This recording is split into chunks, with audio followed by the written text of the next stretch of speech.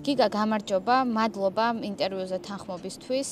უნდა ვისაუბროთ ამერიკის შეერთებულ შტატებში შუალედური არჩევნების შესახებ, რომელიც 8 ნოემბერს არის ჩანიშნული და დასაწყისისთვის ერთგვარად რომ მიმოვიხილოთ თავად ამ შუალედური არჩევნების არსი და მისი მნიშვნელობა. მოგესალმებით, მადლობა მოწვევისთვის.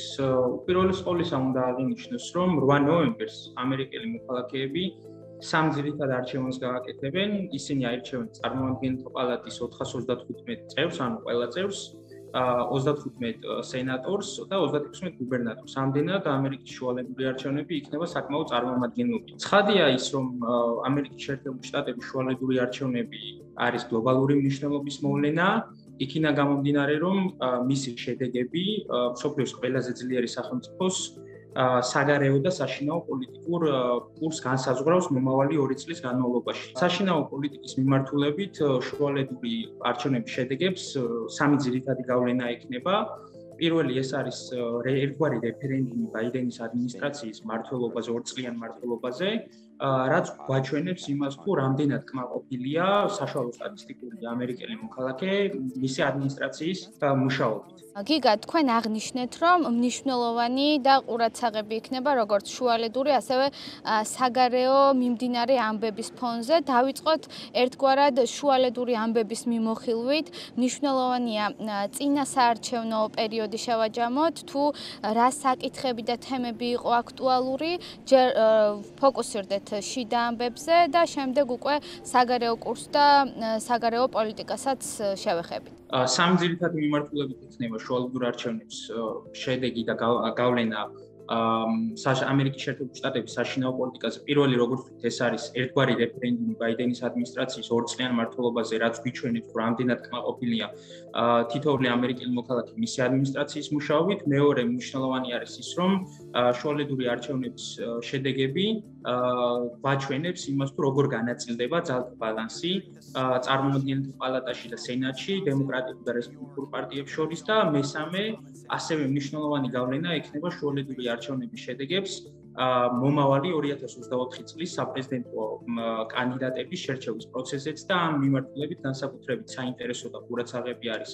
რესპუბლიკური პარტია, რომელიც მოცემული მომენტისთვის ორ ძირითად ნაწილად არის, ორ ძირითად ბანაკად არის გაყოფილი, ყოფილი პრეზიდენტის დონალდ ტრამპის მომხრეებად და მის მოწინააღმდეგეებად. ხოლო რაც შეეხება საგარეო პოლიტიკას, საგარეო პოლიტიკის მიმართულებით მთავარი კითხვა მდგომარეობს შემდეგში გაგრძელდება თუ არა უკრაინის მხარდაჭერა ახალი კონგრესის პირობებში და იმდენად რამდენადაც ფინანსების განკარგვა არის როგორც წესი კონგრესის და წარმომადგენელთა პალატის უმთავრესი პრეროგატივა. ეს ნიშნავს იმას რომ უკრაინის მომავალი და ფინანსების საკითხის გადაწყვეტს აუცილებლად კონგრესის ახალი შემადგენლობა.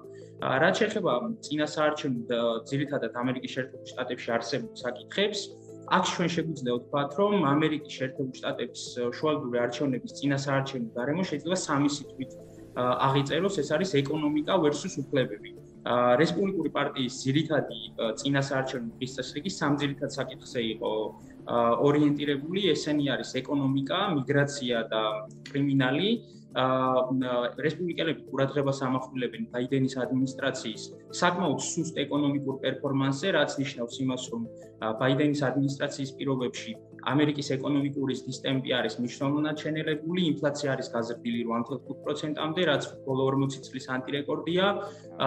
ასევე გაზრდილია მნიშვნელოვნად საწვავის ფასები, მაგალითად ბაიდენის ადმინისტრაციის საწყის დღეებში თუ ერთი ერთი გალონის საწვავის ფასი იყო თქვა 2.3 დოლარი, ახლა გაზრდილი არის თითქმის 4 დოლარამდე. მნიშვნელოვან ყურადღებას ამახვილებენ რესპუბლიკელები ასევე მიგრაუკონტროლო მიგრაციის ზრდაზეც, მაგალითად 2021 წლისთვის ამერიკის შეერთებულ შტატებში.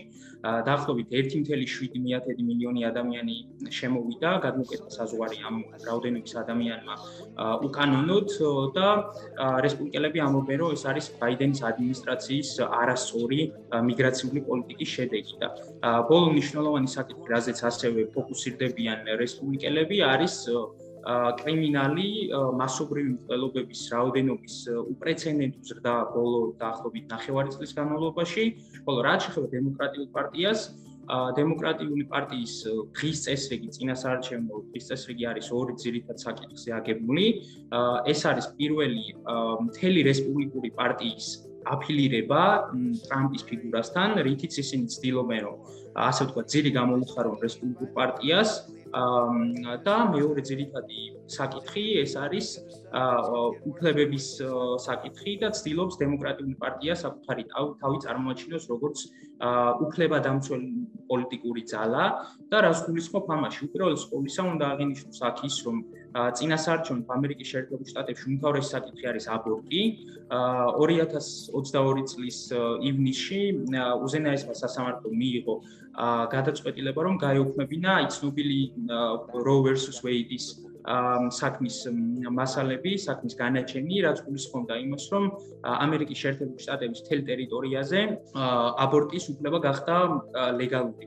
ამ გადაწყვეტილებამ რომ უზენაესმა სასამართლომ მიანიჭა შტატებს აბორტის უფლების დაკანონების პრეროგატივა, ეს გამოიყენეს დემოკრატებმა წინასაარჩევნოდ და ისინი აქტიურად ამტკიცებენ იმას, რომ კონსერვატიულად განწყობილი რესპუბლიკელები მაქსიმალურად შეეცდებიან, რომ აბორტის უფლება გახადონ თითოეულ შტატში არალეგალური. შესაბამისად შეიძლება ითქვას ორიოდეს სიტყვით შეჯამებისთვის, რომ წინასაარჩევნო დღის წესრიგის ფავარი სამი საკითხი რესპუბლიკური პარტიისთვის ეს არის ეკონომიკა, ეს არის მიგრაცია და კრიმინალი, ხოლო დემოკრატიული პარტიის შემთხვევაში კი არის მთელი რესპუბლიკური პარტიის დემონიზება, ტრამპთან კავშირების აღნიშვნით და საკუთარი თავის უფლება დამცველ პოლიტიკურ ძალას წარმოჩენა.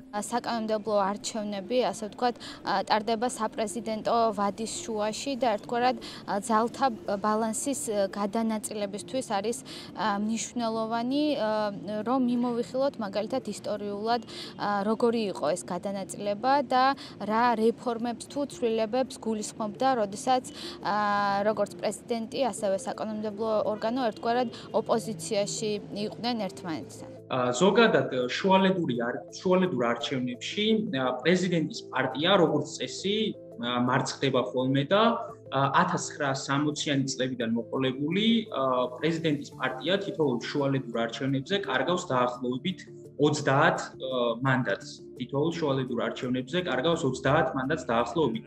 და აქ უნდა გავითვალისწინოთ აუცილებლად ის ფაქტი, რომ 30-იან მეტი მანდატი დაუკარგავთ ისეთ პარტიებსაც, რომლის პრეზიდენტის რეიტინგი შუალედურ არჩევნებამდე ცოტა ხნით ადრე იყო 50% ან 50%-ზე უფრო მაღალი. რაც შეეხება ბაიდენს, საინტერესო განვიხილოთ აუცილებლად ბაიდენის პოლიტიკური რეიტინგიც, რომელიც არის მოცემული მომენტისთვის დაახლოებით 52%-ზე, რაც ისტორიულად არის ერთ-ერთი ყველაზე დაბალი მაჩვენებელი პრეზიდენტებს შორის.